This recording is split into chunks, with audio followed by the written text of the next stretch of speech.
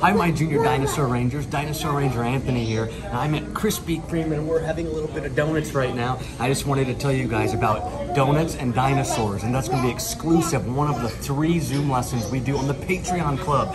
And the first 10 Patreon members, we're up to four right now. The first 10 will get a gift card to a donut shop for our first Donuts and Dinosaurs lesson. So I hope you guys sign up for our Patreon Club.